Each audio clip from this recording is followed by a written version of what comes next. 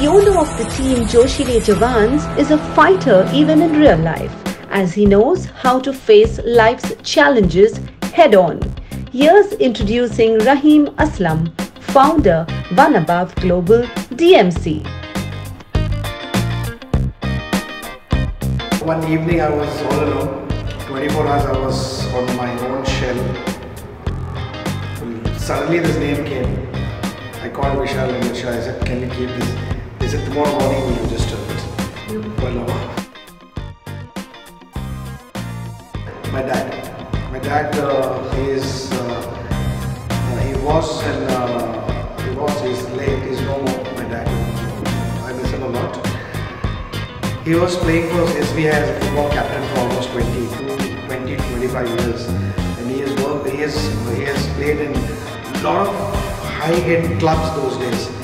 Had a nickname called Pocket Hercules. He was one of the best strikers at that time. So it comes with us in, in our genes.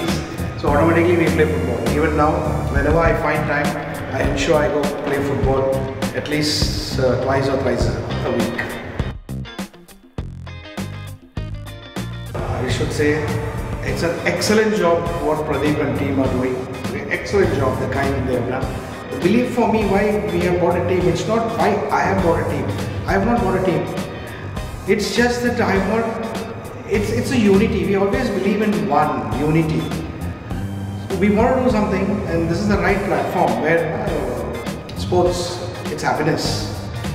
So we want to bring, so we said, okay, let's, uh, let's buy a team, as you said, and we name it also something different.